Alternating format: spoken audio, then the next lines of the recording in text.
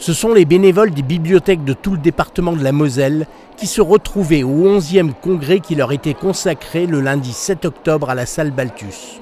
Aujourd'hui à la salle Balthus eh bien, se tient le 11e congrès des bénévoles euh, des bibliothèques et du réseau de lecture publique du département de la Moselle. Moi, je suis là en tant que vice-président du département, délégué au territoire de Forbach-Saint-Avold, puisque je préside la commission territoriale de Forbach-Saint-Avold. C'est une journée de rencontre en fait, parce qu'il faut rappeler que nos, bibliothèques sont animées à plus des trois quarts par des bénévoles.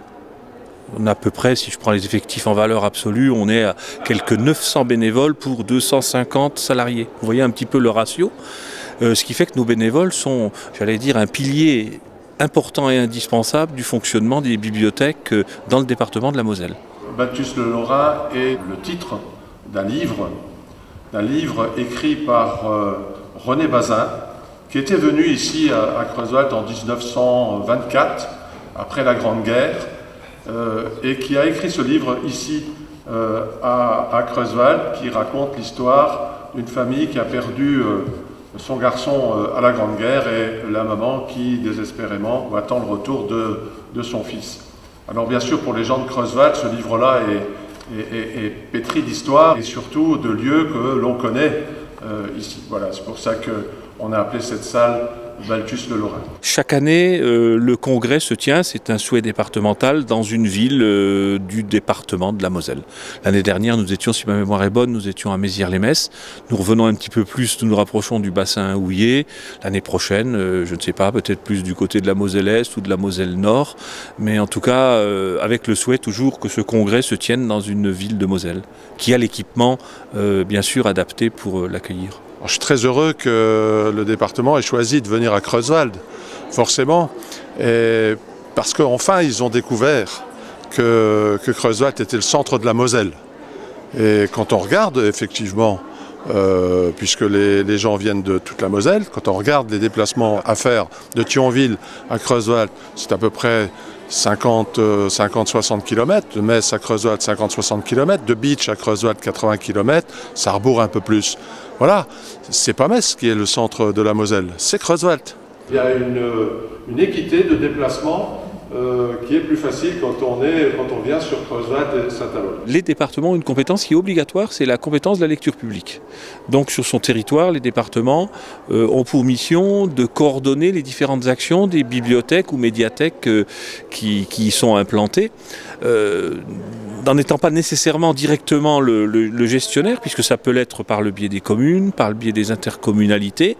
Le département, lui, est un petit peu le coordonnateur, et on revient d'ailleurs au sens du congrès annuel, bah, c'est de, euh, j'allais dire, de fédérer les énergies, de rencontrer les, gens pour justement euh, réaffirmer euh, cette politique départementale qui est volontariste et qui fait que la culture a sa place, j'allais dire, à côté de, de la grosse partie du social et de la solidarité que nous devons à nos concitoyens.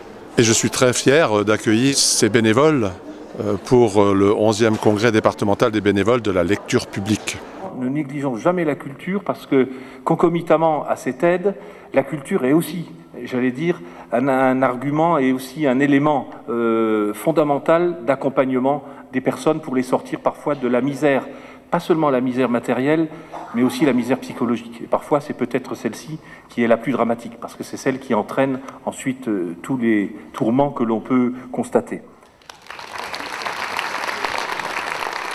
Et c'est la présidente du prix de la nouvelle littéraire qui a pour objectif d'encourager la création auprès des lycéens de la grande région, l'auteur de romans, Élise Fischer, qui était invitée d'honneur de cette journée exceptionnelle. Et c'est quand même le plus ancien concours de nouvelles qui existe au niveau des lycéens, puisqu'on reçoit entre 250 ou 300 selon les années. Maintenant, c'est la grande région euh, nouvelle de lycéens de la seconde à la première terminale, comme quoi l'écriture existe. Et s'il y a l'écriture, eh ben, il y a la lecture. Et grâce à vous, cet immense réseau des bibliothèques publiques, avec immensément de bénévoles, nous les auteurs, on ne peut vous dire que merci. Il y a un programme effectivement en plusieurs temps. Euh, c'est un programme qui pour de l'information à nos bénévoles, c'est important.